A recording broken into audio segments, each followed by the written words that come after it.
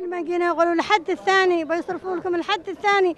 وهذا الثالث من شهور دخل وأنا أنا معي اقوالي إيش اكل أنا وياهم بعد شهرين من عدم استلام راتبها ها هي امرأة متقاعدة وسط زحام خانق في مركز البريد تعاني الانتظار وقد تنفد السيولة قبل وصولها. انفراجة جزئية في أزمة المعاشات حيث استلمت بعض القطاعات المدنية وبقيت القطاعات العسكرية من داخلية وجيش دون معاشات للشهر الرابع. دخل الجيش الجيش متقاعدين وزارة الدفاع. لنا شهرين تسعة وعشرة والآن دخل في شهر 11 والواحد معتمد على على راتبه.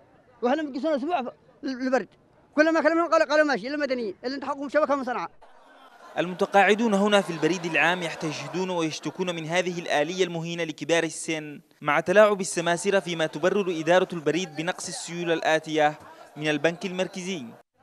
تتوالى وعود الحكومة وتستمر أزمات المعيشة والخدمات دون أي ملامح انفراجة للوضع الاقتصادي.